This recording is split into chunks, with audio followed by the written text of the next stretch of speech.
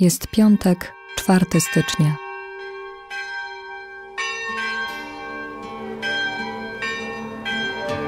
Oto, oto jesteśmy. Przecież nas wołałeś, Panie, jesteśmy, Ciebie.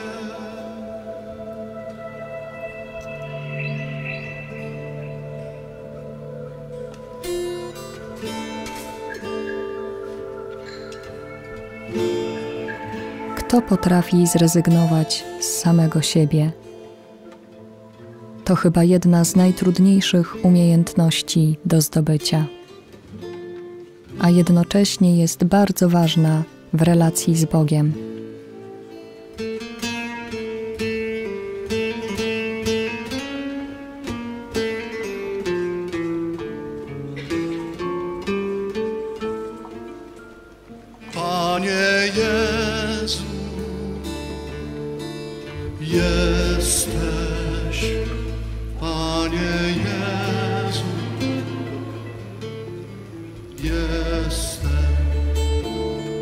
Twej miłości, Jezu, składam moje serce. Dzisiejsze słowo pochodzi z Ewangelii według świętego Jana.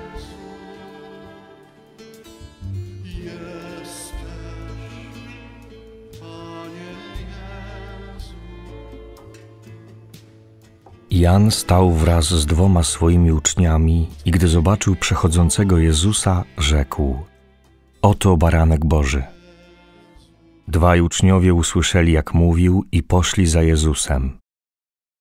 Jezus zaś, odwróciwszy się i ujrzawszy, że oni idą za nim, rzekł do nich: Czego szukacie?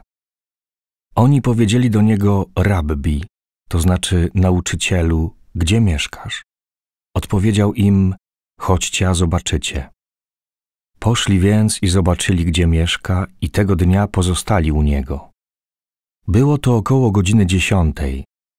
Jednym z dwóch, którzy to usłyszeli od Jana i poszli za nim, był Andrzej, brat Szymona Piotra. Ten spotkał najpierw swego brata i rzekł do niego: Znaleźliśmy Mesjasza, to znaczy Chrystusa, i przyprowadził go do Jezusa. A Jezus, wejrzawszy na niego, powiedział: Ty jesteś Szymon, syn Jana. Ty będziesz nazywał się Kefas, to znaczy Piotr.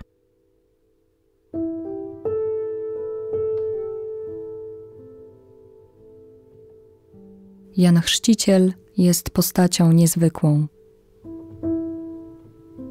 Można powiedzieć, że odrzuca wszystko to, czego ludzie zwykle pożądają. Ilu jest na świecie głosicieli, którzy chcieliby ściągnąć na siebie jak najwięcej uwagi, zdobyć jak największe poparcie. Mówią: chodźcie do mnie. Jan zaś przeciwnie. Mówi: idźcie do niego.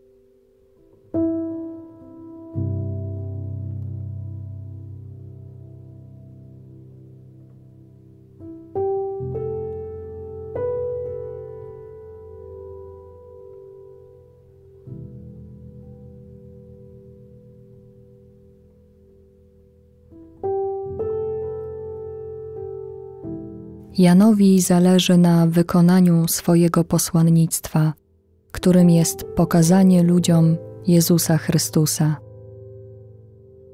Wie, że jego rola się kończy i że ktoś inny zajmie jego miejsce. Zastanów się, jaki jest Twój stosunek do Twoich obowiązków i zadań. Czy są takie, do których jesteś przywiązany i byłoby Ci bardzo trudno z nich zrezygnować?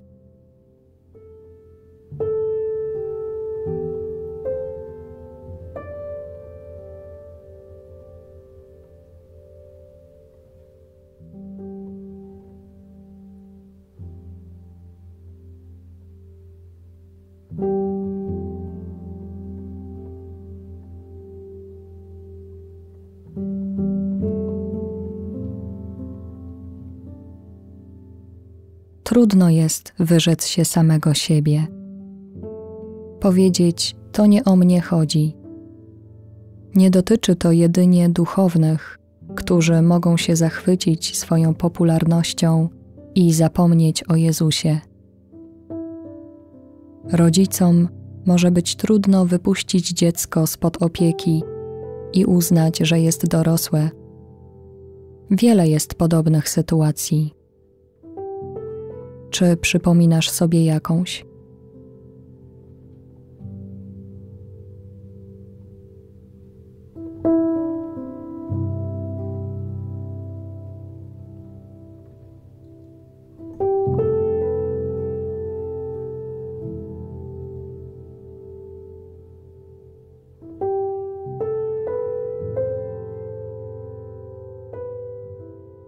Jan stał wraz z dwoma swoimi uczniami i gdy zobaczył przechodzącego Jezusa, rzekł: Oto baranek Boży.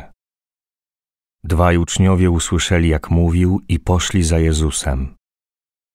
Jezus zaś, odwróciwszy się i ujrzawszy, że oni idą za nim, rzekł do nich: Czego szukacie? Oni powiedzieli do niego: Rabbi, to znaczy nauczycielu, gdzie mieszkasz? Odpowiedział im: Chodźcie, a zobaczycie. Poszli więc i zobaczyli, gdzie mieszka, i tego dnia pozostali u niego. Było to około godziny dziesiątej. Jednym z dwóch, którzy to usłyszeli od Jana i poszli za nim, był Andrzej, brat Szymona Piotra. Ten spotkał najpierw swego brata i rzekł do niego: Znaleźliśmy Mesjasza, to znaczy Chrystusa. I przyprowadził go do Jezusa. A Jezus wejrzawszy na niego powiedział: Ty jesteś Szymon, syn Jana. Ty będziesz nazywał się Kefas, to znaczy Piotr.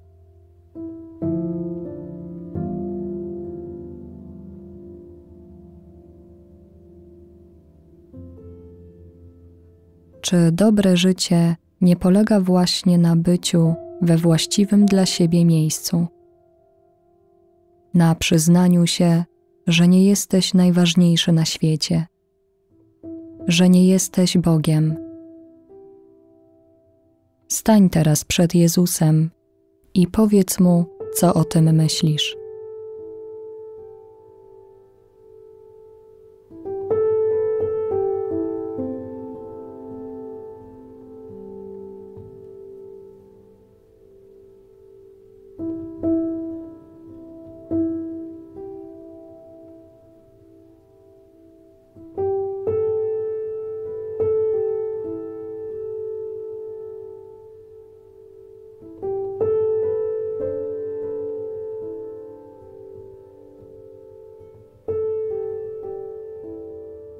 Chwała Ojcu i Synowi i Duchowi Świętemu, jak była na początku, teraz i zawsze, i na wieki wieków. Amen.